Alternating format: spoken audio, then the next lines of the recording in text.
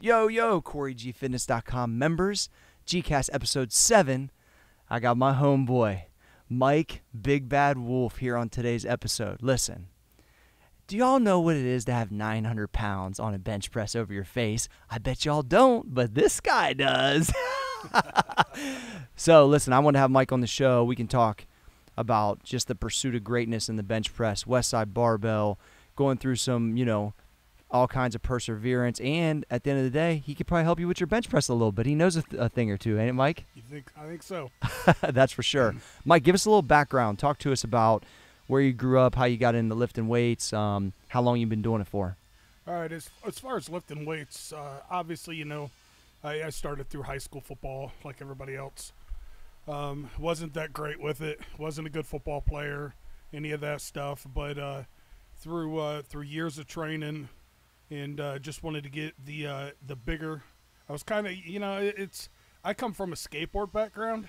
Hold on, hold on, hold on. Oh yeah, oh yeah. Super heavyweight bench presser, skateboard Yeah. background. Yes, yes. Trey just got interested. He's like, wait, wait, wait a Oh, second. yeah, oh yeah. So All right, go I ahead. was, I was straight up skater, late '80s, early '90s. So um, Could you ollie? Oh, I can 360 kickflip This down four steps. I motherfucker. guy Okay, let's go. Look Oh, at me on my basic knowledge trying to Oh, call yeah. out the Oh, ollie. I can't even fucking ollie. Oh yeah, it's uh, sadly during skateboarding though I broke my uh, left ankle four times, my right one twice. Damn. And, um, so that that was the beginning of the injuries. But um, I came out of the skater world into the uh, quote football jock world. yeah. and uh, this probably goes back all the way to '91 ish. My uh, my dad had actually bought us a weight set during the summertime that we had in our garage, Mm-hmm. and my brother and I we both started doing a little bit of weightlifting with that and kind of playing around in the garage with it, and then you know to to uh, uh, try and get a little bit further into it, I started lifting there at the high school, Mm-hmm. and uh, but to be able to lift in the weight room, it was either gym class or you had to do it in football. Gotcha. And uh, so I decided to go ahead and try football out. I'd played a little bit when I was younger. Played uh, eighth grade, high, or eighth grade. Mm-hmm. Um, skipped my freshman, sophomore year. Went back my junior year. Absolutely hated it. Everything about it, except for the lifting the weights. So it was. I, I feel that the same way, Mike. That's where I. Uh, that's why I actually kind of get the, the the first bug at. Okay. Seriously, Do you guys have? Do you guys have powerlifting team? we Or- not. okay. We do now, but we did not then. Yeah. And uh, but that was uh, that was in St. Mary's, Ohio. Shout out to the Rough Riders. Yeah. Yeah. and uh, started started playing ball there. Um, lifting, like I said, um, the football aspect of it, I was I didn't care. Uh, all I wanted was that weight room. Well, then after football was over, I still wanted to lift, so my mom actually bought me a membership at the local YMCA nice. and uh, started training there. Well, then me and the wife started getting a little bit more serious in our relationship. And uh, she actually moved to the town across the lake from us, okay. and uh, so I would go over there and I would spend the time, the weekends over there in Celina, Ohio, where we live at now. And um, there was a place there, it was just a little fitness club. They had a pool and indoor tennis and some hockey and stuff like that. so Mike Wolfe started working out where there was indoor tennis. Yes, yes. I find that. The- I find that pretty funny. but uh, those guys there, they kind of took me under their wing. Um, There's some strong guys oh, there. Yeah, real strong guys. I mean, they were they were all the bodybuilder guys, but Mhm. you know, they took me. I knew you their- had some bodybuilder in you, I Wolf. know, yeah. Been there, thought about that. Came Uh-huh. back to powerlifting, but yeah, it's uh, uh, those guys kind of took me under their wing, showed me some stuff, and then from there, Here's uh, the other thing too, Mike. Just I'll stop you there for a second. Yeah, yeah. Bodybuilding really is just a ton of accessory work. Oh, yeah. People get it all twisted up, like you have to do, but it's really you're doing both anyway. Right. You might not be doing just enough like certain things for stage ready, but most really good powerlifters are fucking jacked and have a great bodybuilding base, don't you yeah, think? Oh yeah, so So that's a great place to start. Like I said, and that, that's where that's where I actually started at was Yeah. bodybuilding. yeah. I mean, all of my stuff. I mean, I read the Flex magazines, the Muscle Mags, uh, the Muscular Development, stuff like that. And um, when I actually got uh, the job that I work at now, back this was all the way back in '94, I had moved to a town called New Bremen, which is south of us, about 10 mile, Mm-hmm. and uh, that's where I worked at. And they had just put a local YMCA there, and um, Some of the old Ys had actually Oh, good yeah. gyms back Oh, in the day, like Yeah. sneaky good. Yeah. So it um it it started there, and um, there was actually in back of one of the I don't remember I think it was Muscle Mag, Chris Confessor used to write a power page in there. Chris Confessor. Yeah, he that, got- hey, I got- usually recognize all the Yeah, names. I don't yeah, recognize he, that uh, one, Mike. He was he was a big 198er, like 220er. Okay. guy. And uh, but he ended up passing away. I do believe it was from a car wreck. Wow. Um, yeah, that's shortly after. But I'd actually wrote into him asking him some advice for lifting, and uh, when I uh, wrote into him, I Hmm. told him that I was training at the local Y, and he made the made the comment when he uh, when he uh, had my article or had my uh, uh, letter in the Yeah. article there. He said that it sounded like a good idea to start a powerlifting gym. Uh, it only took me 20 years to do it. but- yeah. But, you actually but experienced actually- having it. Actually did, but uh, that YMCA is where I met um, Chief Randy Houseworth, Okay. and he is the guy that got me into powerlifting. And when I first met him, I was I was maybe benching 185, 190. That's amazing. And, to um, think you only bench 185 when I've seen you bench like 600 raw and board presses and shit at Westside's crazy. But It goes to show that everyone starts somewhere, Oh, though. yeah, yeah, yeah. And uh, but I seen I seen Chief. He was um, he was over there and he was benching, and uh, he had four plates aside. He took it out himself and did it for six reps. And uh, yeah, I just I, I just kind of sat there and watched him like, who the fuck is Yeah. this guy? And uh, Dude, t- 405 for six reps, like when you're not with no spot or yeah. taking out Oh, yourself yeah. is pretty serious. Well, it uh, I kind of I kind of just eyed him the rest of the time. Well, then. Uh, and, and sorry, Chief, if you listen to this, but I'm telling the story. Yeah. he hates this. But um, we went and uh, I went to the locker room and I changed into some swimming trunks and Yeah. went and jumped jumped in the hot tub. And uh, a few minutes later, here he comes and he hops in the hot tub. And, Okay. and he calls me out on my on my build. He tells me he's like, you know, he goes, you ever think about getting into powerlifting, kid? He goes, you're built to bench press. I love when the OGs Yeah. reach out like Oh, that yeah. and Oh, say, yeah. like, dude, you need to be about this. Yep, yep. And um, That's it's funny cool. because he hates it when I say that we met each other in, a In the hot tub. But, but damn it, Chief, that's where we met. That's pretty amazing. But uh, he uh, he grabbed me, took me under his wing. The next day, we, we started training, and um, he's uh, I'm getting ready to do a contest coming up here July 25th. It, Yeah. it may be my last contest for a while with all the injuries Sure. going on, but. Um, he retired probably about three years ago from competitive lifting, four Sure. years ago, and Wow. uh, dropped off a ton of body weight. But I mean, we still stay in contact, and That's so cool. I I, I think you got to reach out like that. I Oh, know yeah. you've done it a bunch. I've done it a bunch. You see guys that have it, and you're just like, oh yeah, man. And he probably saw something that he wished he had in you. Yep, exactly. So, and um, we uh, we uh, like I said for twenty plus years. I mean, we we competed either either he lifted or I lifted, and um, Wow. either I handled him or he handled me. And then it would have been 2012. We both went to the uh, Border Wars. Mhm. It was the first time in basically 17, 18 years that me and him had actually uh, competed to, to- was actually The going same to time. on the same stage Okay. at the same time. And That had to uh, be we awesome. Both, well, we both qualified for Worlds. Yeah. And um, so Wow. 2012, we went out to the WPC Worlds out in Las Vegas together. And being out there at the WPCs in Vegas, Sure. he took the uh, the Masters uh, 50 to 55 year class, and I took the men's How strong? Open. How strong was that day for him? Um, I think he benched like a 470 or 480. So it, it like a 370 body weight, but I Wow. mean, also I mean pushing pushing 60 years old. yeah, that's so- serious. then, Raw um, or in a shirt? Yeah. Oh, that was raw. That was raw. That's what I thought. I remember yeah, you yeah, telling me that story. That's why I want to make sure that wasn't in a Yep, bench yep, shirt. That was yep. raw. So and then um then I I think I hit a 578 out there. Wow. And uh, had the uh, second biggest raw bench, and uh, Laszlo ended up doing like a 670 something out there that that day. But uh, Laszlo's from like Hungary or one of them Eastern European Yeah, yeah, yeah. countries. But but yeah, it was uh, it was a cool experience for me and Chief. And uh, our first worlds together, our first national meet together, we both won, and then uh, so cool. our first worlds together. Well, I shouldn't say we won. I took second at that that Can-Am game, Yeah. but um, he took first, and then, like I said, we got to go out to Vegas, and Vegas was a blast. It's uh, I'm so looking forward to going back up there. Oh, I'm again. sure. So Talk, so talk to me about how you get to that spot, and then where's the transition? I know I've heard this story, but I want you to tell it like, you know, you either meet Louie or have aspirations to go to West Side, and that you actually drove the West Side oh, one yeah. time and didn't go Oh, yeah, in. Yeah, yeah, Yeah, yeah. tell the story, Mike. story. all right. Well, I mean, this this takes us all the way back to I did my first contest in '94, and that that was my first ever experience with the West Side guys. Yeah. Um, those are the dudes that you see in the in the West Side versus the World movie Yeah. where it Powerlifting up. USA oh, all yeah. those years Oh, before. yeah, yeah, yeah. And uh, I mean, you read about these guys, and and when and when they walked in, I mean, you know, it was funny because Panora always says they got the good guys and we were the bad guys, and I mean, That's and how it felt, that's kinda too. How it felt. Yeah. I mean, these dudes walked in. I mean, it was like a biker gang or some shit. You got out of their way. and, uh, Mike, you know my first experience. I was only 18, and I was at that. They Louie called it Trailer Park Nationals down in Nice. Wintersville, Ohio. it Nice, was the day Louie benched 600, or yeah, 600 when he was 50, yeah. and I was only 18 years old, and that's exactly what happened. There's no internet then. This is like 97, 98.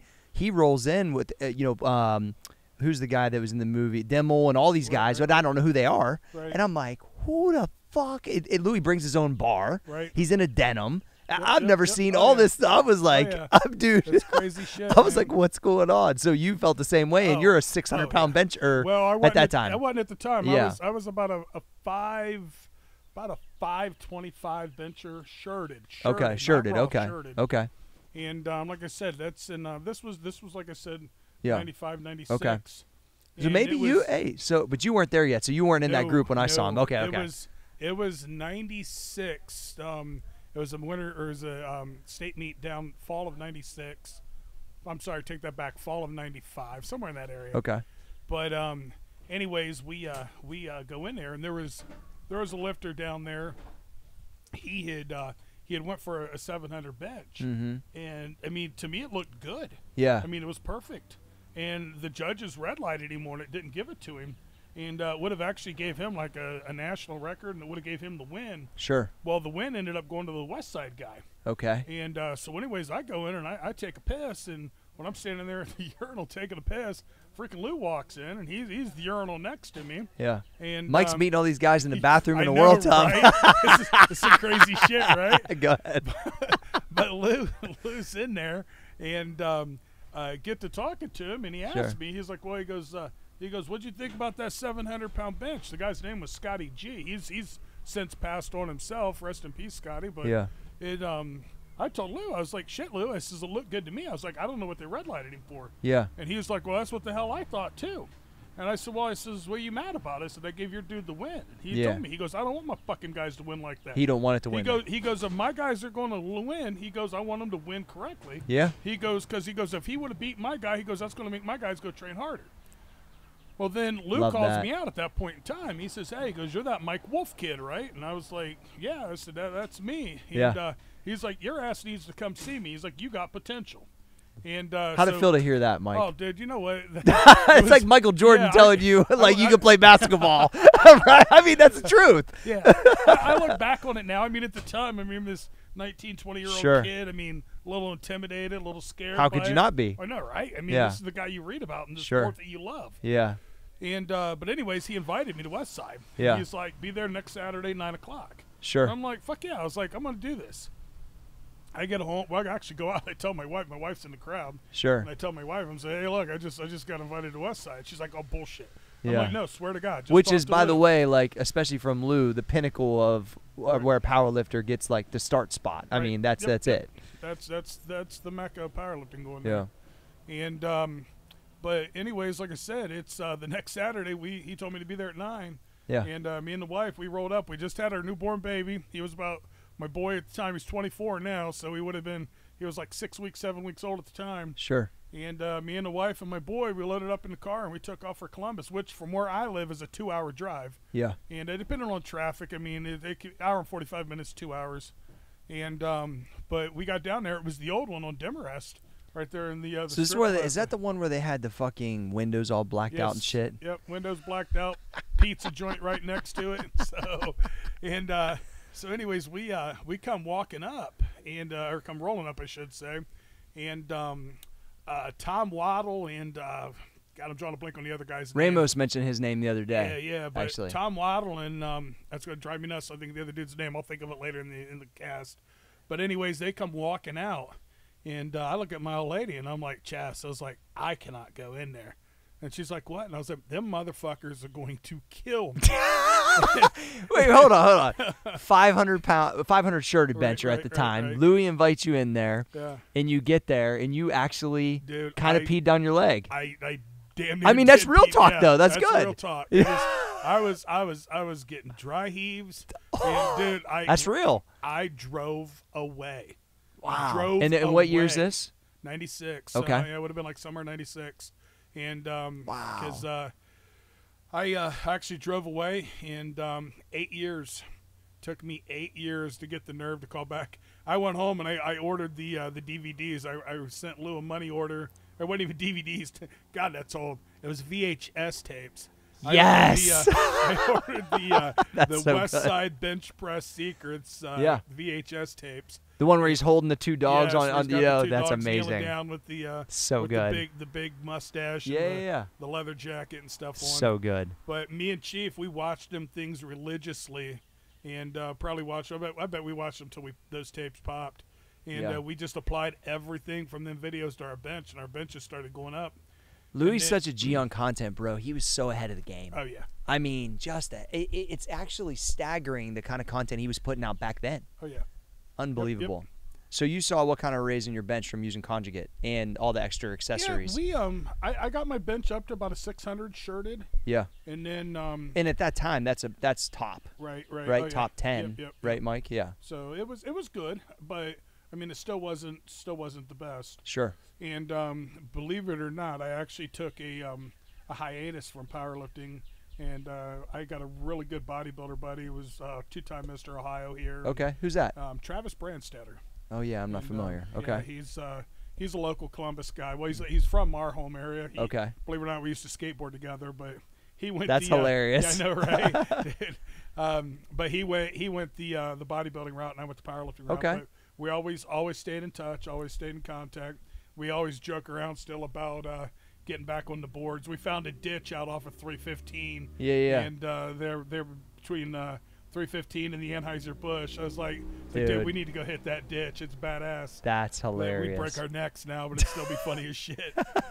but, uh, but yeah, we um, me and Travis, uh, we we kind of crossed paths again, and uh, really rekindled the friendship. And, Okay. And um, he got me he got me into the bodybuilding scene, and I actually dieted way down. Did you almost do a show? I did. So I was I was training for a show, That's cool. and um, I had so what your so your body weight from what was it at that time in about three- powerlifting? about 360, and I dropped down to 215, and um, I could I could see my upper abs.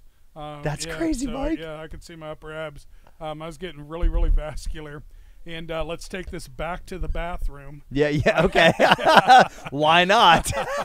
That's amazing. I'm, I'm actually sitting in the tub with my leg lifted up, shaving the back of my leg, my hamstring area. you know it's real then if you're a And- yeah, bodybuilder. yeah, yeah. and and at that point in time, I had a damn protein shake to the left of me while I'm in the tub shaving. Yes. Because it was time to eat, and uh, I th- I sat there and I had an epiphany moment, going, "What the fuck am am I doing? I've thought that of I was like, every show I've ever done I was like, with "This these hairy Italian me." legs. Oh, dude, dude, I just the guy at the gym the other day I had a, a tank top on, and he said with the hair on my back and shoulders, he goes, "We could make wigs for like 20 kids with cancer." So, but yeah, so it was um, that was the real So you think that that though period of time where you did tons of volume work probably really set you up to go on the pursuit of what you ended up doing, which was what was your best nine Um, well, No. I've done 905 in nine the oh gym. five. That's right in the gym. That's in the gym. What'd you make in the- 860, 860 at the at the Arnold, and at the time that was top five, yeah. and uh, that was that was top And five. Talk about you and your dad going to see Anthony yeah, Clark. Yeah, we um, Anthony Clark. For those of you that don't know, Anthony was the first guy to bench 800 pounds, and he when I got into powerlifting, he was my idol. He's the I guy. mean, he was he was the guy that I wanted to be like. I wanted to look like him. There was him and another guy by the name of Grant Pitts. Mm-hmm. And uh, it was funny because talking about Grant Pitts, I always talked about how I always wanted to be as big or bigger than my idols. Yeah. And I put a side by side at me and Grant, Grant Pitts, Pitts. together when I was I was about 340 and just jacked. Yeah, yeah, yeah. And I was like, holy shit! I was like, I actually got to where I wanted to be. so cool. And like I said, I mean, now being on the downslope of my career, I want to hand out to the hand it off to the kids and stuff Sure. like that. But uh, back to Anthony, we um, he was uh, he was chasing 800 pounds. Would have been the, the first guy ever to do it. And uh, me and my dad actually went to a couple different contests to watch him, Mm-hmm. and we actually went all the way to the um, Mr. Olympia. It was the last year it was not held in Vegas, okay. and that was 1996 Where would it in been? Chicago. Oh, Chicago. So it was at the All right. McCormick, McCormick's place in Chicago, and uh, we drove up there. And um, I'll, I'll throw an Eddie Coan story in Yeah, on this please. also because it was it was the greatest. Um, at the time, Eddie and Anthony weren't. They were having a uh, debate back and forth in, in Powerlifting USA. Okay. And every month they'd have their, their their letters to each other. That's that's how old this is. So is. they were like feuding Yeah, this- by this letter. is- yeah, this was like they were like being pen pals through Powerlifting USA. Pen pal And, uh, feuds. there That's was, amazing. There was no forms. There was no text messages. There was none of that shit back then. That's you so wrote, good. You wrote a handwritten letter to Powerlifting USA to, to fight your battles. That's amazing. And, uh, so these two were kind. these two were kind of feuding. And um, when my son was born, my mom got a weightlifting belt that was made for like a baby. It Yeah, was yeah. identical to mine. It had Wolf engraved in the back of it, just like mine did, and That's everything. cool. So I took this belt with me to the Mr. Olympia up in Chicago, Mm-hmm. and I had all the bodybuilders sign it. I mean, there was like Laura Creavalle signed it, Bingo signed it, um, Ronnie Coleman Yeah. signed it. Uh, just trying to think off the top of my head who all's in there. Um, Chris Aceto signed it. yeah, yeah. All mean, the top were- oh, yeah, people at the time. Tanya Knight signed it. Shout out Tanya, you're still beautiful. Dude, Probably not watching it, Mike, but she might. Maybe she she, said- might. Maybe we'll cut she- that out for you. she sent me a friend request the other day on Facebook, and I had to I had to confirm it. Oh, dude, hey, I we had can make this look real good if Oh, we need that to I had I had the biggest crush on her back in the day, man. So So sorry, good. Sorry, wife, I love you, baby. Yeah, so, so you're good. always my girl, you know that.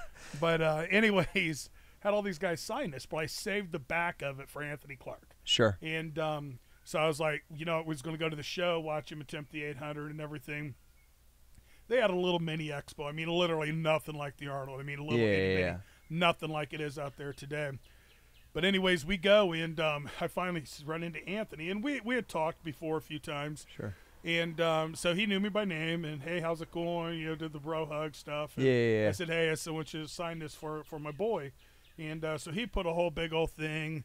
Dear Damon, eat your Gerbers and grow, blah blah blah. That's he just cool. wrote this whole big old message across the back of this, and um, so the show wasn't until later that night. Mm-hmm. And uh, so me and Dad, you know, we was in Chicago, first time ever being there. Wanted to go get some Chicago pizza Of course. go up one of the um, up top one of the uh, the big buildings and stuff, skyscrapers there.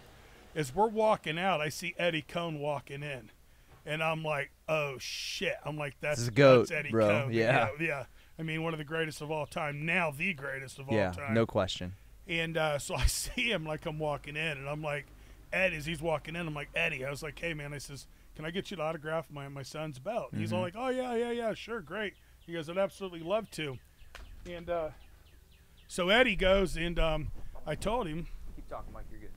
I told him, I was like, hey, I was like, you know, I was like, I don't really have.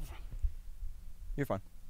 It's still picking you up. We just can't hear it. Now we can hear it. Go ahead. All right, sorry. You're good. Um, but I told him, I was like, hey, I said, you know, I said, I don't really have a whole lot of space on the front anymore. But Yeah. I said, I saved the back for Anthony Clark, not thinking about their feud. I was like, could you just funny. sign the back of it? He takes my Sharpie marker and he writes Eddie Coan number one right over top of everything that Anthony Clark That's hilarious. and I'm like, dude, dude. But you know, what do you say? I mean, Yeah. it's, I mean, he's the great, one of the legends of the sport. and he's obviously at that point like heavily competitive. exactly, Yeah. exactly. That's hilarious. and he walked away. Well, fast forward to 2006. yeah. We was at the New England Record Breakers meet. It was a big Raw meet up there in uh, where the uh, Minutemen play basketball at the University of Massachusetts. Oh, Massachusetts. UMass. Yeah. And uh, we're up there at UMass, and Eddie was one of the judges. Mm-hmm. And you know, me and Eddie, we had talked a few times at some of the other meets and everything. He knew who I was because of West Side and all Sure. of that. And uh, so, anyways, I asked him. I says, "Hey, Eddie," I said he come up and he sat down beside us, and uh, I was like, "Hey, I let me ask you a question." I says, uh, "I said, let's take this back." I says, 10 years ago." I said, "Back to the uh, the Mr. Olympia in Chicago." I said, "Do you remember?" I says, "Walking into the building." I said, "Some young kid."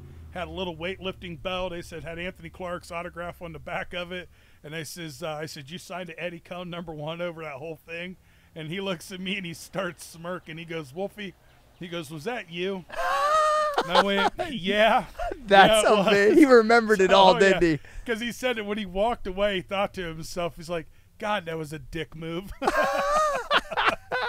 but you know, I mean, it was cool. I mean, we laughed about it at the Yeah. time. I mean, it's, but yeah, it's. uh So yeah, that's to the whole Anthony thing we were talking about. Like I said, we was chasing him um, watching him go everywhere. I mean, we, me and my dad, three or four times went and watched him uh, trying to get the 800, and then finally at the uh, the '97 Arnold Classic, he finally got the first 800 bench ever.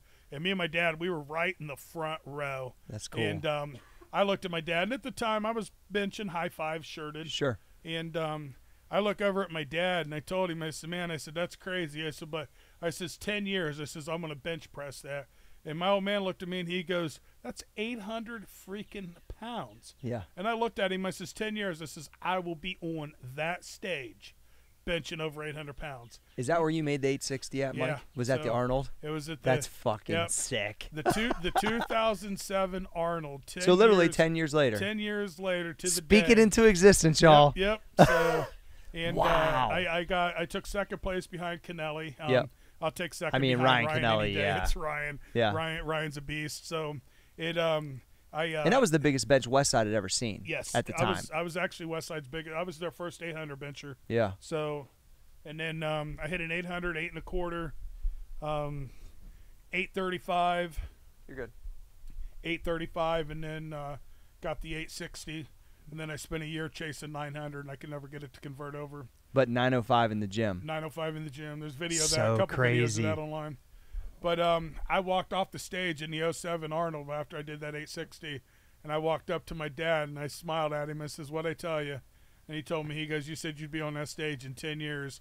My dad shook his head and smiled. He goes, "It's been exactly 10 years." I was That's like, fucking yep, sick. Yep. So my dad remembered it. It was the coolest shit ever. Talk So- about so that being said, that's a pinnacle of the career. Oh yeah. Talk about just what weightlifting has done for you, Mike. you know it's it's definitely as far as me i mean i don't ever want to say i was an introvert Yeah. but i mean it, it was there for the longest time i mean because as, as a skater i mean i had my buddies Sure. and that's who i hung with Yep. and it's we was never the cool guys we Well, was, yeah, your uh, skaters weren't as cool as they are now. Oh, it was oh, no, outcast back no, then. hell no now skaters skate everything everything's cool now about a skater Yeah, So you got- exactly. you got your ass beat for wearing back then in the country, hey, back then in the country, you were Yeah, outcasts. Yeah. So yeah, most definitely. So, and we grew up in a small little farm town, so Sure. I mean, that was that just made it tenfold then. of course. And you know, I mean, I, I it's I got in plenty of fist fights as a kid. Um, God, I can remember one time I got into it, and all my buddies ran off and left me with four dudes. hmm And I was like, you know, what, screw it, I'm gonna take an ass whooping. And um, the one dude swung at me, and I grabbed him. I, I wrestled in school, Sure. so and uh, I, I, he swung. He was drunk. I caught him in a belly to back suplex and put him head first into the concrete. Um, actually fractured the guy's skull. 20, 27 stitches, dude. So wow. yeah, yeah, man, it was it was crazy. So So you think it brought out the the, It- the natural introvert? it well it it's the the powerlifting brought out the extroverted side of Okay. me. And um and I'll tell this story because this is this is great this is one of my defining moments and this goes all the way back to like 96 and uh there was this lady in the gym and you know what I would go in and I trained with a chip on my shoulder I was not I wasn't always the nice guy I am now Yeah, I was gonna mean, say, well, yeah, and I'm gonna I'm gonna speak about. I told this to Trey. When I would watch or read or look at the West Side books, look at the pictures, some of the scariest pictures were the ones of you.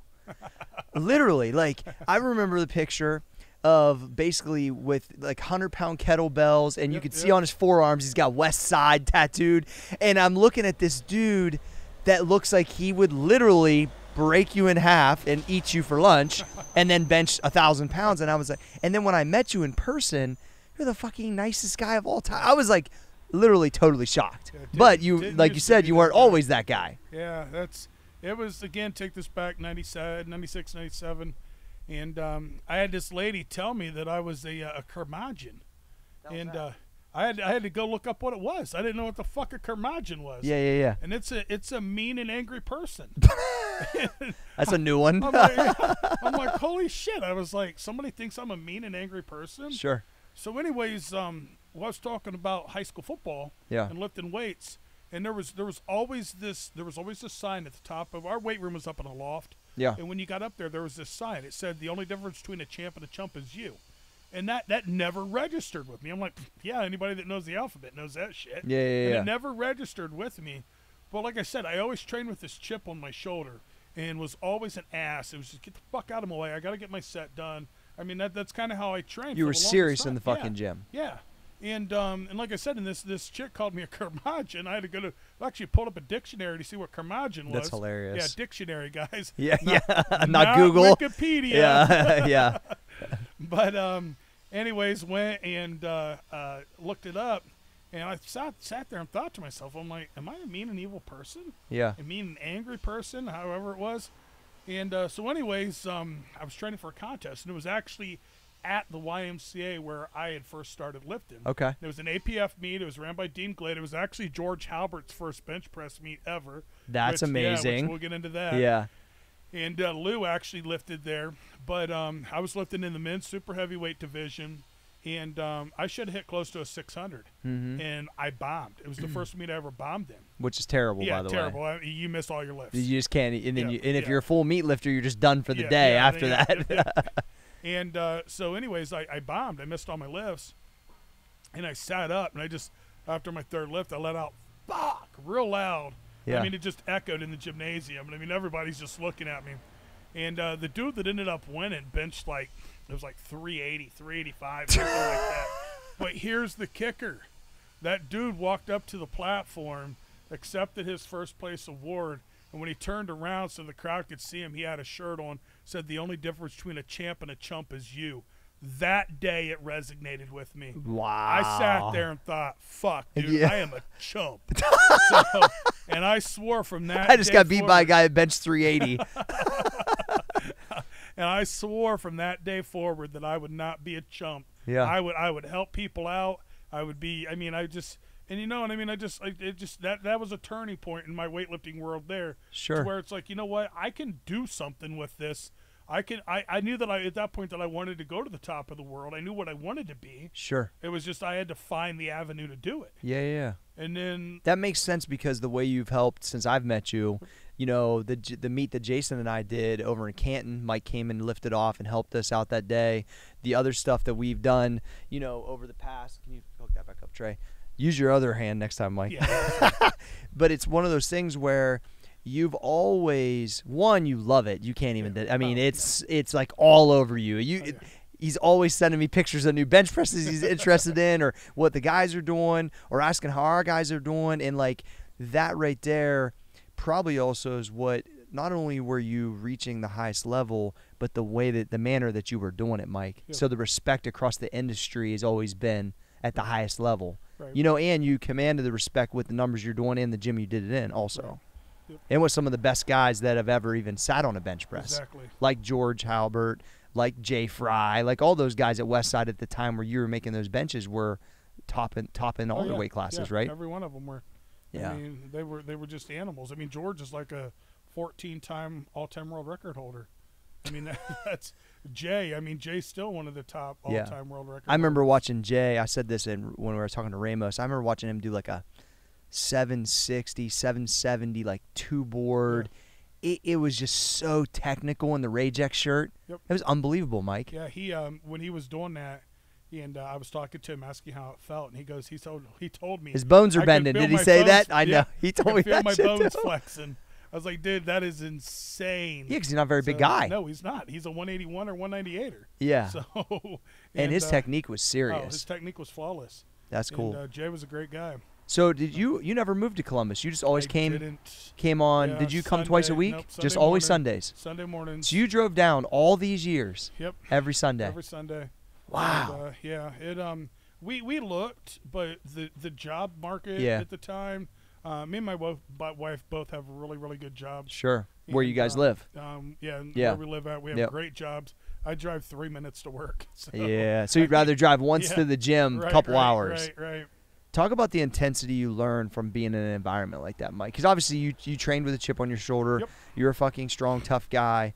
But talk about that next level turn up when you walk inside of Westside Barbell, and and you're one of the players there. Yeah, yeah. Well, let's uh let's take it back to where I drove away. Yeah, no, please, that'd Yeah, be great. It's uh, drove away eight years. Eight years. I uh, it took me to to go, go back. Yeah. And, um, I actually called. I actually called Lou up on um, just to kind of chit chat about some some technique stuff. yeah, And um, Doris answered the phone, And uh, I talked to Doris for a little bit. She's like, "Well, I'll have Lou call you back." Well, about an hour later, Doris calls me back, Mm-hmm. and first words out of her mouth, she goes, "Lou wants to know where the fuck you were eight years ago." And he And, didn't. uh, for, he yeah. didn't fucking forget it. That's so- amazing. So uh, I told her, I was like, well, you know, I was like, I'm gonna be honest, I said I got scared and I drove away. And she kind of laughed. She said, well, Lou said to have your ass down here Saturday at nine. So here we go. Back Put up or shut up, motherfucker. Yeah. So, so anyways, I, I get in the car and that Saturday morning, and I drive down there, and I get to about Marysville there on uh, Route 33, Sure. And I can I can feel the heaves coming, the dry heaves. I can feel the nausea. What do you think you're so anxious about, Mike? I don't know. I mean, it, it. You know what? I mean, that's that's the mecca. I mean, Yeah. that's like I said, that's the uh, the guys that I mean at the time That you aspired to yeah, always I look mean, like or be I like. to be. Um, walk in and and Lou was there, and uh, the first training group that I got to train with was um, Amy Weisberger and J.L. Holdsworth. Oh, JL's and cool. you know what I mean? And- and- That's someone else I need to have oh, on. Yeah, he's oh yeah, Yeah, he's, he's a awesome. one. Smart, smart Yeah, guy, smart guy. Smart. But um, JL and Amy were the first crew that I their their crew, and you know what I mean. And you, you Amy's got, in everyone's stories. Oh yeah, Amy's awesome. Amy is amazing. Amy's in everybody's Yeah, stories, Amy is Mike. so amazing. I love her. She's awesome. So Amy, if you listen to this, you're awesome. yeah. So, but um, anyways, uh, trained with them, and um, you know, Chuck was always back in the corner. Okay. Um, know who Chuck? Those of you don't know Chuck, one of the most intense guys ever. Chuck. Vogelpohl. Yeah, Chuck V. And um, you know, I mean, so he was always kind of back there and got a watchful eye on us and Yeah. everything. And um, it, it was it was good. And I mean, I got I mean, I those guys were actually doing more of a speed day, Okay. and Lou was kind of having me do a um, do a heavy day. Mm-hmm. And I had about a 585 raw at the time. And Lou told me he's like, I don't have anybody benching that raw right now. He goes, none of my supers could even touch that. And he goes, if you learn a shirt, he goes, you'll be my first 800 pound bencher. He knew it right And, uh, there. yeah, he, yeah. So um, I I trained, and I, I like to say that Lou kind of kept me hush hush for a while. Sure. But after doing a podcast with Bill Crawford and the Metal Militia, Yeah. Bill goes, Mike, he goes, we knew you were coming. Yeah. He goes, Lou was up in our ear all the time saying, Mike did this, Mike did that. He goes, had never been on, he hadn't been on the platform as a, as Sure. a pro. He goes, But we he knew he was we, coming. We knew you was coming. And uh, so, anyways, we um, that like I said, the first three or four months was great Sure. and then the intensity kicked in because that was the one day that I walk in and the only person in there is Chuck. and there is there is a big powerlifting meet over in uh, what is it Zanesville? Yep. Yep. Um, there's a big powerlifting meet over in Zanesville. So everybody else had went to Zanesville except for me and Chuck. So it's just you yeah, training with Chuck. Me and Chuck.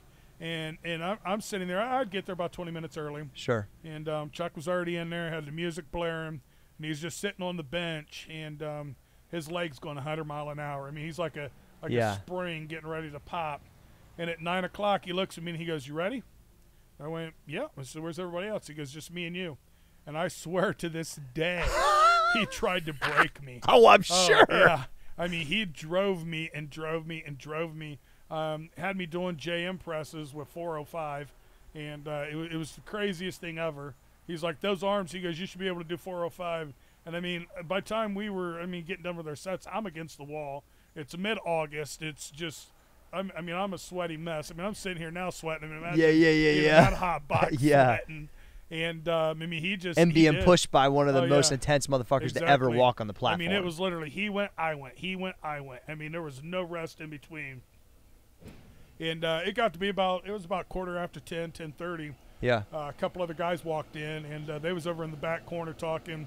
And uh, Chuck kind of went over and was chatting with them, and uh, they were they were actually getting ready to do like some speed squats and deadlifts. Sure. And, and Chuck looks back over his shoulder and he goes, "Hey Wolf," he goes, "You squat and deadlift yet this week?" And I says, "No." And he goes, "You will before you leave."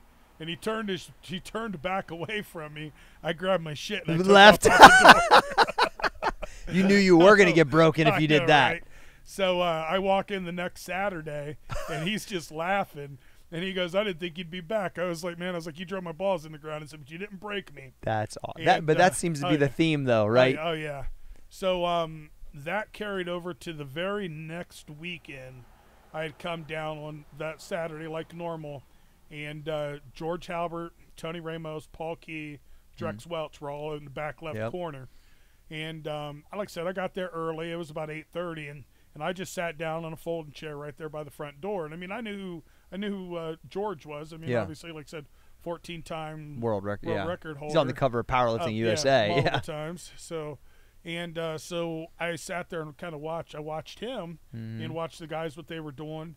And uh, a couple minutes later, Lou walks in. Lou kind of taps me. He's like, "That's who the fuck you need to be training with." And I looked at him and said, "What do you mean?" And he goes, "Well, he goes, that's a Saturday or Sunday morning bench crew." He's like, "You need to be training with those guys." He goes, "You want to bench big?" So Lou brought me over, and introduced Yeah, me because to him. Tony was a bench only guy then, Yeah, right? Yeah, yeah, yeah, yeah. So and um, so Lou brought me Lou brought me over, and uh, he introduced me to all of them, and, and they let me work in with them, and um, and that was my my first experience not only with George but with Tony. Um, y'all probably heard Tony on the, the podcast Before, yeah.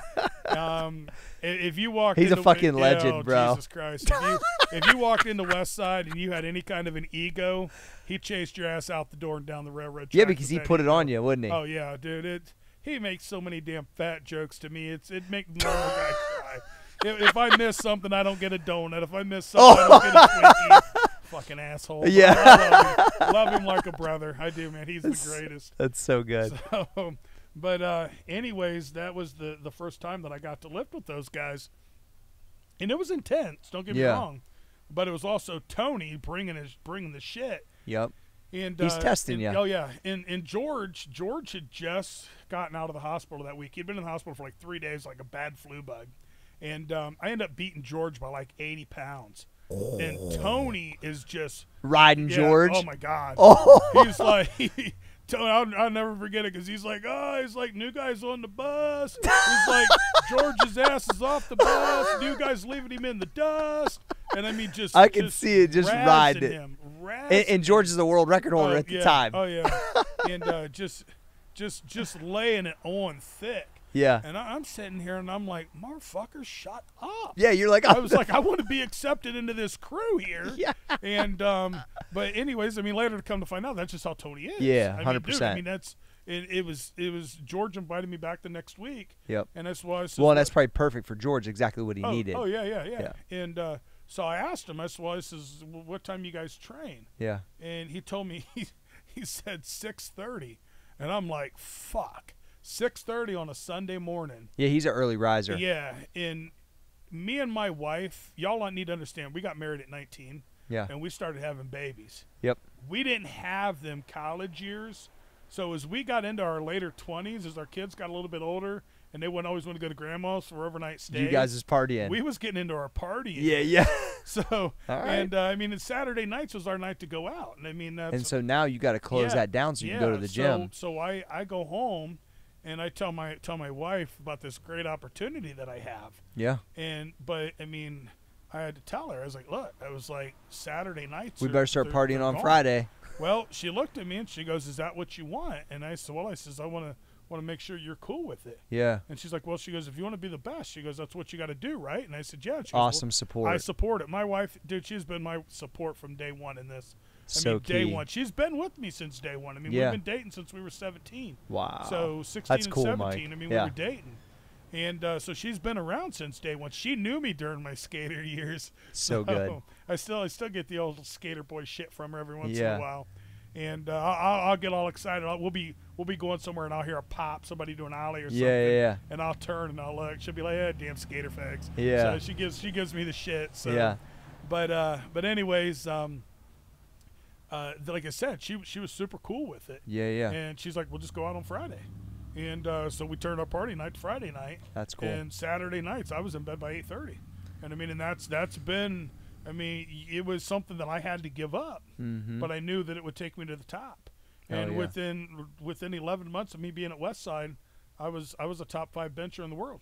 That's so- great. Talk talk about for people watching right now, Mike. Top maybe five things that you knew heavily impacted your bench, whether it's board presses or tricep work, or like tell talk to me about a few things that were staples in your in your training. Um, I'm gonna tell you the top two: tricep work like crazy, heavy, heavy, heavy, and then back and trap work. That's that's, That's, where the support's at, isn't you it? got you got to build that foundation. I mean, people always think, oh, bench press, bench press, bench press, and, it's not all about the bench press itself. I mean, No. Or You- the chest you would you would never build a house on an unstable foundation, yeah. and that's the, that's how you have to look at your bench press when you set up. You got to have that foundation to bench off of. Yep. So I mean, I, I trained my back heavy twice a week. Yep. And I mean, you know, I mean, it, it was just it was something that I mean, I, I had actually got that from from some of the West Side videos, and I mean, and that was something that that all the way back to the '90s with Chief. I mean, that Yeah. was something that he said.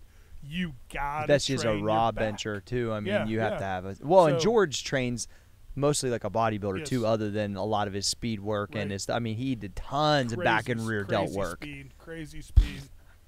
Cra- So- The um, you think that um, being in that environment, what I found when I would be there just the few times I trained there, like you're so much more willing to hang yourself out Oh, to the gotcha. fucking out to the fucking you know to the hospital Yeah. Oh, like yeah. on a regular basis and and but that's how you break those levels of strength you know when i would come up there i had trained all week i'd come on sunday and then you guys are pushing me to take 450 470 and i think i might even took 490 right Right. before that meet you helped me at and it's like you don't think you're going to do that going up to that and i'm mm. already in an intense crew and my guys but you go there and it's like i remember bob coe said to me the second or third time i was ever there with tim harold took me Oh yeah. and I was getting ready to take my first maybe 600 or six something squat, and he looked at me and I had I'd kind of fucked up the set before. He's like, "You're a fucking West Side motherfucker." Like, like That's basically, Bob. where the fuck's your head at? You know what I mean? And I thought to myself, "Holy shit! Like, this is the shit I've been reading about. This is this is that." Now you make that weight, even though it's nothing crazy compared to what was going on. But for me at that time, Yep. That was that was huge, and that I could actually maybe beat Amy at that point, right? maybe, but that was the, the I like the test of then walking up, smoking it, and then him knowing that you responded. I think that's with those guys. Yeah. No matter what the weight is, Yep. when you know it's right on that edge and you're willing to go there, that's why Tony Tony Ramos, you know, starts to get the respect. And is that does that Oh, sound yeah. about Oh, right? Yeah, that's I mean that that's exactly how it is. Yeah. I mean, when you walk in there, I mean, you know, I mean, well, one, the slightest fuck up, you're going to the hospital. No question. So I mean, because the the amount of weight, but you better be bringing 110 percent intensity. yeah. I mean, in in I'm the kind of guy, you know, I'm pretty laid back, calm, cool, collective, but when I flip the lever on my belt, Yeah. I go into a dark spot. Yeah, fuck, you I got mean, to. and it's- You're taking 800 over yeah. your face, bro. it's a it's a fuck it all or nothing. I mean, Yep. And try. I mean, there's been days I've walked out of there where I thought I was hurt. Yep. And I mean, granted, I mean, up until just here recently, the last few years, I mean, I've been competing at that level with no major injuries For a I long mean, some time. strains and sprains, and I mean, finally, after 40 years old, I mean, Yep. the body's kind of like, hey, jackass, time to time to Yeah. put it put it in the, uh, into a lower gear here. Sure. But yeah, I mean, you go in there and I mean, you train, you give 110 percent.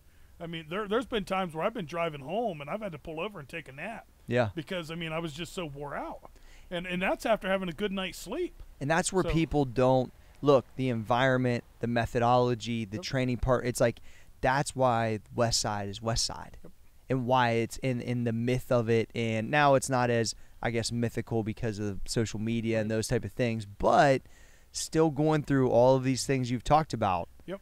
I mean, mean- that's that's why people it's so sought after. Yep, it's like I said. If, if I've had people at work, I mean, because it's I work in I work in the safety field, Mm-hmm. and um, I'm in manufacturing safety, so I have to make sure everything's OSHA compliant, that kind of stuff. And I mean, there's days that I hobble at work, Yeah. and and I have people ask me, they're like, "Hey, man, is like if you go back and change it, would you change it?" Fuck no, I wouldn't. I wouldn't change it the least bit. I mean, because it, it was something that I knew that I wanted to accomplish. Did I, did I beat my body up for a plastic trophy and you know what some a little bit of respect? Yeah, but you know what? It was what I wanted. It was the it was the level of what I wanted, and I knew the intensity that I had to bring, and I brought it. yeah. And uh, And you so- know you don't look back at all. no, not at all. You So- know, that's the one thing I respected about watching the Ronnie Coleman documentary. I don't know if you saw that. Oh yeah, He's oh, pretty yeah. fucked up right Fuck now. yeah, he is. So And he I said, cried watching that because Ronnie was one of my favorite bodybuilders. yeah, and I and I was, you know, definitely like within supplements and all during that time, and I was like, and he doesn't fucking, he does it. I mean, he's got double Walker, bro. Yeah. At this point, I saw him at, I was at Venice during Christmas and saw him training, and it's hard to watch, Oh, yeah. especially in person. Oh yeah. And and then you think, he fucking gave it everything he had, bro. His only regret was that he didn't get three reps with 800. I know, ain't that fucking crazy? Which is like a true power lifter talking. I mean, in the amount of weight he was moving, in the amount of mass he had, Yep. to being what 300 pounds lean. It, it's there's a respect to the crazy side of it. I'll, t- I'll tell you a funny Ronnie Coleman story, Mm-hmm. and um, this is this is the first year that he won the Mr. Olympia, and um, we was at the Arnold, and we Mm-hmm. come through, and um, Billy Blanks' Tae Bo was like the big thing at the time, It's so funny. and, and Ronnie Coleman's booth was right across from the Tae Bo booth, Yes. and I come around the corner, and there was literally nobody in line to see Ronnie But a, probably a bazillion people ready There- to see yeah. Billy Blanks. There was probably 300 people standing in front of the Billy Blanks booth watching him do his thing. And Ronnie's Wow. sitting there with his arms crossed, just like this big giant gorilla with these sunglasses Yeah. on. And I come walking up to him and I'm like, What's up, Ronnie? He's like, Hey. And I was like, uh, I says, Tae Bo? And he's like, Yeah. And I mean, you just see he was annoying fucking And pissed. I looked at him, I kind of smirked, and I says, uh, "I said, you want to go over and join me in it?" And then he kind of chuckled. He's like, "No, man, I'm good." And I was like, "Hey, it's congratulations." I mean, When cardio yeah, kickboxing is basically exactly, whooping your exactly ass, you're pissed. So uh, we we funny. sat there for probably 10, 15 minutes and just just chilled, shot the shit. So I, I, I got a lot of respect from watching Yeah. that about yeah. him, about how he Yep. was all Yep, in, yep. not no regrets, yeah, and it's a legacy, man. oh yeah, You took it to the absolute top. yep, yep. So most definitely. That's so cool. Yeah, that's uh, good stuff. I mean, that's that's one and only time I've ever talked to him, but Yeah. It was. I mean, he was always one of my favorites. I guess. I guess I kind of hollered at him one time a couple years prior to that, and he had the biggest glutes I'd ever seen on a bodybuilder in my life. Literally looked like you could take a knife over there and just shave Yeah, yeah. steak off of it. So, but I hollered out to him one time just to see if he'd turn around. He- Yeah, yeah. He turned around and waved. That's you know. I'm, I'm a young dumb kid coming up through the bodybuilding, Sure. powerlifting world, and uh, I thought that it was the coolest thing. I'm like, ah, Ronnie Coleman turned around and said hi. So, yeah, yeah. But yeah, it- it's good stuff. So. Talk to me about being on the cover of Powerlifting USA, Mike. What that meant to you. Oh my God, dude. that was Because we've both been on the cover Yeah. of magazines yes for yes, different reasons. Yes, I. I But but it's a it's a crazy clo- I had my experience, right? on. Yeah. Um, PLUSA. Um, uh, that, at the time, that was that was the biggest powerlifting magazine. I mean, it actually was the only. Powerlifting Well, I would say it's the only, and it's and it would always be the biggest ever. Like it, it was just the Yeah. the it was what started it, all. It ran 30, 40 years, Yeah. however long, and and that was how we always. We didn't have the internet back then. So That's I how you it knew what people did at yeah, meets, right? Yeah, you you grabbed the back of it, seen what the meet results were. Yeah. I mean, just all kinds of. I mean, that was where you got your information. at. Sure. Louie always had an article in there. It was awesome. And uh, so, I mean, there was just so much powerlifting information. I mean, that was kind of like our Bible that we got Yeah. every month. And and, uh, I And you probably couldn't fucking wait to get it, oh, huh, oh, Mike? yeah, I mean, every month. And and I had, like I said, I had my own, I had my own subscription to it. Sure. So every month that it would come, and then when my subscription run out, I'd be like, shit, gotta send money. Yeah. And um, but anyways, we uh, we was at the 06 APF state championships here in Ohio. Okay. Um, actually, let me take that back. It was actually a national meet. It was um, it was here, like I said, it was here in Columbus. Well, we're in Granville, but it was in Yeah. Columbus, Ohio, and um, it was uh, uh, I don't remember his APF UPA one one of the two. I don't remember exactly which one. Um, Kenny Patterson was the meet director, Okay. and uh, Kenny had actually taken over the UPA, so I don't remember if it was APF UPA. He was doing both at the time. But anyways, um, there was so much crap talk on online going into that meet. Fun, just banner back Sure. and forth, and um, they were giving away this big ring and everything for the pound for pound best lifter. But I didn't care pound for pound. I just wanted the biggest bench. Sure. Um, long story short, I had um, missed my first two attempts, and um, I was I was like I said, not in a good place mentally, and I just I mean I was just I just want to get this meet done, get out of here, and um, I had went 835, 835, miss miss. Actually, I take that back. I went 830, 830, miss miss, and um, I was like the the guy that I was competing against went 830, and he got it. Okay. And um, so I, I called for 835.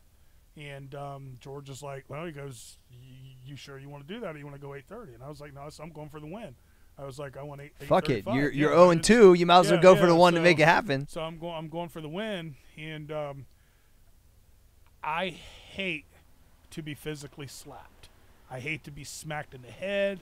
I just I love to slap the shit out of people. I got handfuls of motivation, but I hate it. And those guys set up a gauntlet line coming out of the back room. So I mean, it was Ramos, it was Drex, it was George. I mean, So all of the guys. I mean, Jay Fry was in there. They got you Uh, fired oh up. Oh my god, dude! I, I have never been slapped in the face, the back of the head, the chest, the shoulders. Um, I think Bobby Coe might have even slapped the shit out Yeah. of me going out there. But they had me so pissed off. All I wanted to do at that point in time was fight. Yeah. And uh, so I uh, I get up there and I smoked it, smoked it, launched. it. I mean, hit everything perfect, launched it, threw it back in the rack, and I come up off that bench. My glasses are flying off my face, and I'm pointing at the ground, and I just scream at the top of my lungs, "This is my fucking house!"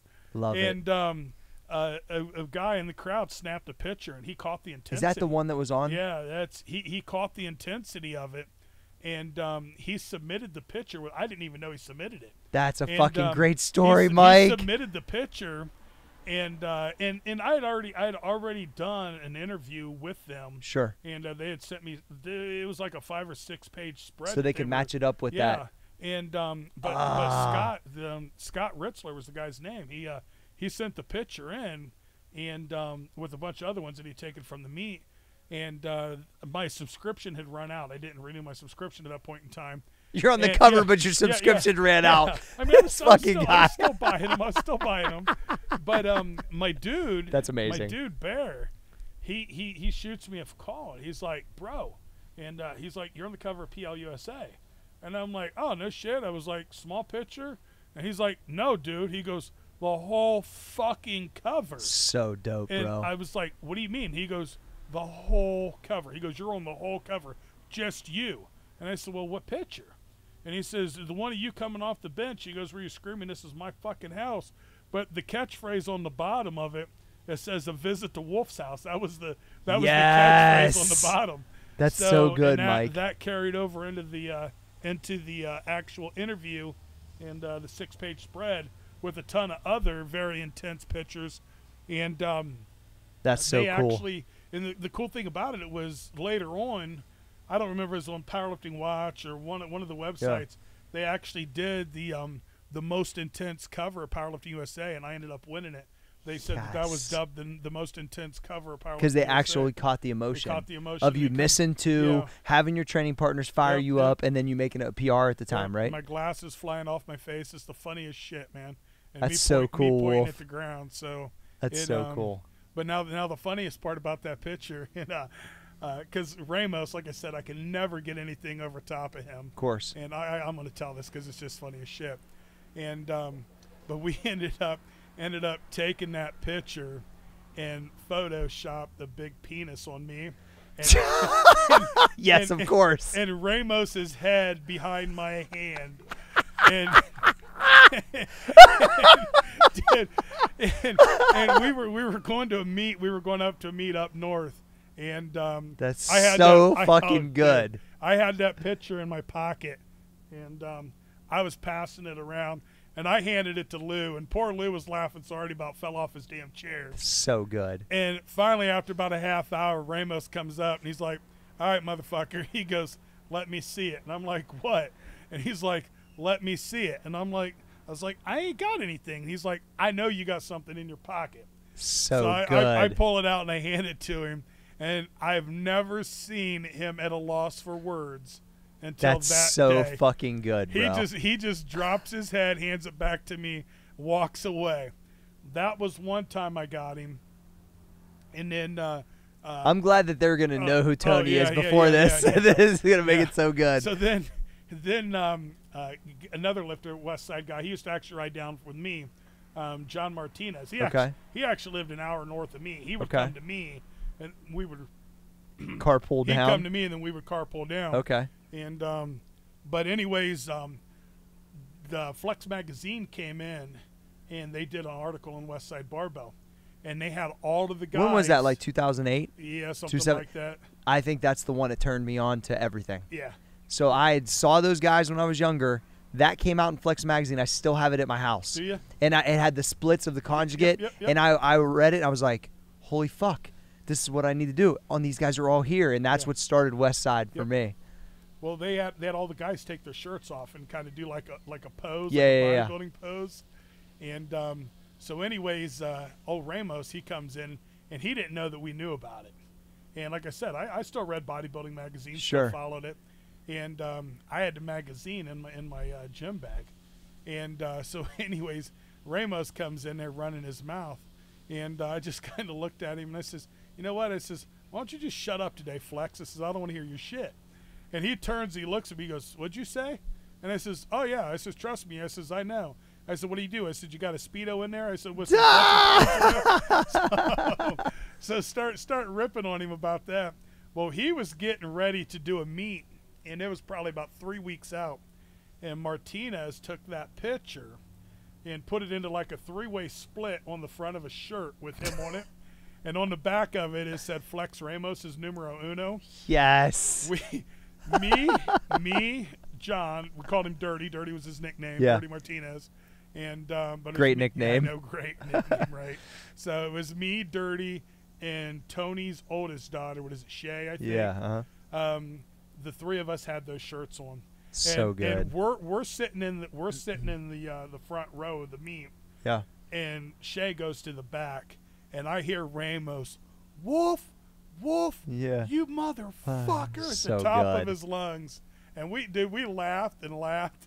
He come out, and he's just he's just looking at us, just shaking his head. So still to this day, every once in a while, I'll, I'll throw a That's flex Ramos fucking good, bro. So good shit, good good shit right there. So uh, sum it up for Westside. What's Westside mean to Mike Wolfe? what does Westside mean to me? Um, it means everything. Honestly, everything. You don't look one day and see those tattoos, and not wish they weren't a little bit. a li- n- You don't wish they were any smaller. I know that. I wish they were Right? bigger. Yeah, I knew that's what I was. That's what I was trying to get out. It really, it is. It, it changed your life probably so much, right, Mike? Um, I walked away from Westside um, twice. First time was to do to just I was, I you know I, I let myself get way too big. Mhm. Um, I got way out of shape.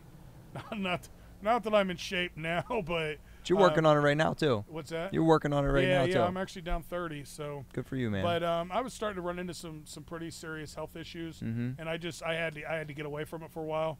So um, I walked away and I dieted way down, way way down. Got down to about 240, hmm 245, and then ultimately I come back to powerlifting, and then um, uh, ended up I left again for I don't know about a year and a half or so.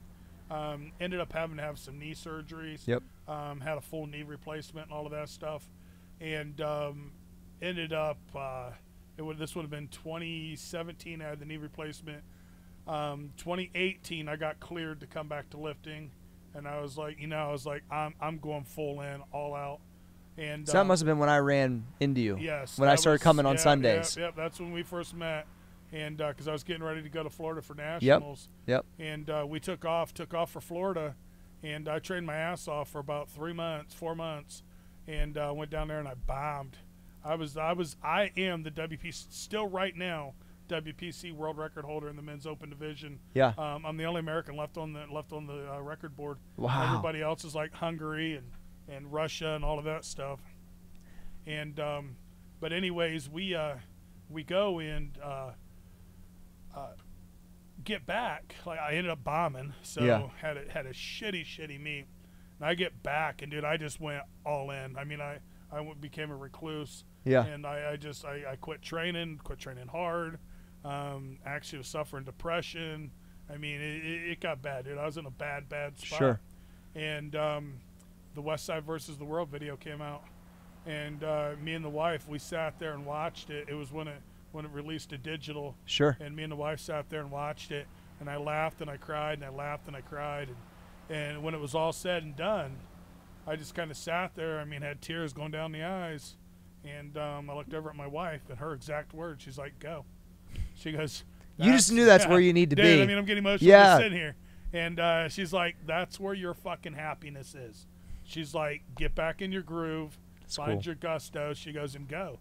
And um, that next day, I had a day off work, and uh, I called Lou, and I talked to Lou on the phone for like 45 minutes. yeah, And I was like, "I I need to be there." sure. I was like, "This It's is, you. This is what I need. This is even if I'm not lifting, even if I'm just in the environment to help out." oh, bro. I mean, which is where I'm at now with the uh, suffering with the shoulder injury Sure. right now. So I mean, I'm just there helping out. I mean, I'm, Sure. not, I'm not doing shit. But that's I mean, part of how all the right. old lifters have done. They, that's how you pass it down to the next. That's that's how you push, Yep. and that's what Tony always talks about is keeping that intensity in that Yep, gym. yep. The next generation. And then if you can pull, look, Lou was pulling half meets together till he was sixty something. right, right. You get a healthy streak, Yep. you're gonna be right back up on there. Yeah, that's Hundred percent. It's the hey when the bug Yeah. bites you for real. Oh. I got it, bro. It's I like you can't Oh, get rid of it. Yeah, yeah. So it's I'll, I'll do this. I'll do this till the day I die. Like I said, it'd be people ask me all the time, "Do you regret it?" And fuck no. No. I I'm never gonna. I've thought that I quit three times, and I can't. You it, it's I'm not mentally happy unless one I'm in that gym, two I'm lifting heavy shit, and uh, I I got feel a that, bro. rotator and labrum and the supraspinatus thing. Supraspinatus, I got that one. Yeah. So I mean, that's I got all that going on right now. I'm going to get an MRI when we're done with this. I got to Yeah. get my MRI, and um, but my doctor's almost positive it's all all shit, Yeah. and um, and I'm still going to meet July 25th. It's I it's it's like fuck it. I mean, what, Everything, yeah. everything that comes from Westside, anybody that's a there's just a screw loose of so- that they love the sport or of lifting in general to Right, the right. to the highest level, the mental, the the mental aspect, bro. Of and that's where I learned it is from being around you guys. Is that I was already I'm wired crazy in my own way. Right. That's a fact. But being around Tony, being around George, being around yourself, being in that environment, seeing what I needed to then take back to my gym to expect. You know what I mean? And then trying to show those guys how to do that, and then us doing it in our way, that changed everything for me. We already kind of like my high school, luckily, my high school strength coach showed us some great intensity. But then when you see it at a professional level and you see it at the best in the world level, that's what a lot of people don't realize. When I moved to Columbus, I didn't know fucking Westside Barbell was here. I didn't know the Arnold Classic was here. I didn't know any of that. I just knew there was a one year program at Columbus State. Maybe I could get out of the coal mine and be a fucking personal trainer one day. All of this other stuff was on accident, Right. but not on accident. Right. And then once I was around it, I knew exactly where my spot would be, essentially in this world. You know what I mean? And that's why, like, even though I was never a full member or ever up there for any longer periods of probably than two or three months at a time, the amount of stuff that I grabbed from there and been able to apply in my own way and the relationships I've created, it's everything, bro. Yep. It's it's been it's been massive and that's it, it's it's a brotherhood to me. For sure. I mean, it's you know, I mean, there, there's multiple crews. I mean, there's Multiple generations of guys too. Oh yeah, multiple now, generations in there, and it's, you know, I mean, we may not all be friends, but we're all in the same gym. Yeah. And I mean, it, it's, that's, I mean, we know when we go to the meets. Yeah. I mean, whether I train with those guys or not, I'm supporting those guys. no question. That's that's part of our gym. They may not, may not be my crew, yeah, but I mean, my crew's the Sunday morning bench crew.